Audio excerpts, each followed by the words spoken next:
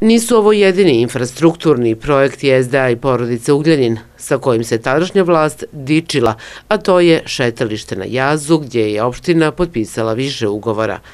Javno preduzeće Zavod za urbanizam i društveno preduzeće Zapadna Morava iz Kraljeva 2002. godine potpisuju ugovor vredan 8 miliona 458 hiljada dinara, a onda se raznim aneksima ugovora cijena povećala do ekstremnih gotovo 38 miliona dinara, a do 2004. godine uplaćeno je više od 31 milion dinara.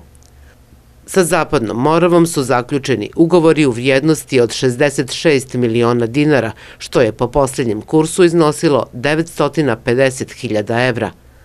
Zapadna Morava nije jedina firma koja je sklopila ugovor za izgradnju jaza. Sulejman Ugljenin je sklopio ugovor sa firmom Amiga iz Kraljeva marta 2007. godine, a obaveze plaćanja su bila kreditna zaduženja opštine kod Raiffeisen banke, a da se odplaćuje kredit za Amigu kod Čačanske banke. Tim duplim kreditnim zaduženjima, nepovoljnim po opštinu, dug se prema Amigi popeo na 44 miliona 532 hiljade dinara po tadašnjem kursu. Tokom izgradnje jaza sredstva su uplaćivana i drugim firmama. Tako, na primjer, iako je Amiga po ugovoru trebalo da vrši radove izgradnje ograde, opština plaća u više navrata firmi Kovin Trendu.